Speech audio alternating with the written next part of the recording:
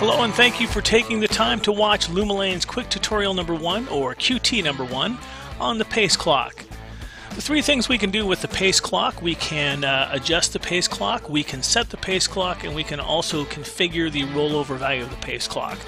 So once you've launched your Swim Pacer app, I'm going to go ahead and show you right now first how to configure the rollover value. So if we go to the options page, we have two options. We can select rolling over value at 60 minutes, which a majority of pace clocks roll over, and then also 100 minutes. So I'm going to go ahead and leave this right now uh, at 60 minutes, but if your pace clock rolls over at 99.59, you would set this for a rollover value of 100 minutes. So we'll go ahead and leave this at 60 minutes and we'll back out to the actual back out to the uh, main menu.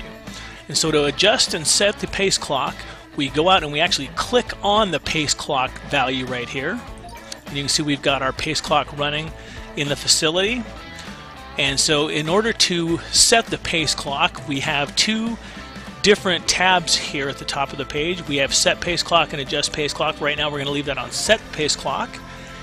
And the, the, setting the pace clock works fairly simply. You just basically are going to set the time a little bit ahead of where the facility pace clock is right now. So we'll pick 40, 45. So we're going to go ahead and type that in on our keypad 40, 45, and then we just basically are going to time to 43, 44, 45. We press OK, and now we match and see how we did time wise and we see that we we pressed the button, the OK button, just a little bit late. So now I actually need to fine tune and adjust this just a tiny little bit. So I go ahead and click on the pace clock again.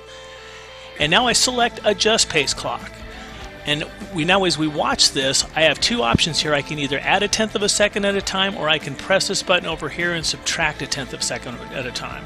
So I'm going to go ahead, since we're behind, I'm going to add a tenth of a second, we're going to look at the clock again, and we see the clock's still just a little bit behind, so I'm going to keep adding a tenth of a second.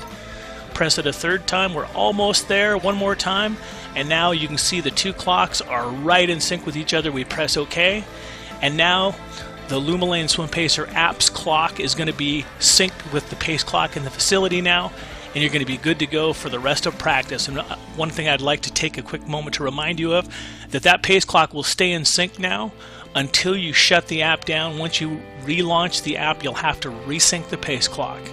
Well, thank you again for watching LumaLanes quick tutorials, and remember to subscribe to our LumaLanes YouTube channel, follow us on Twitter, and like us on Facebook.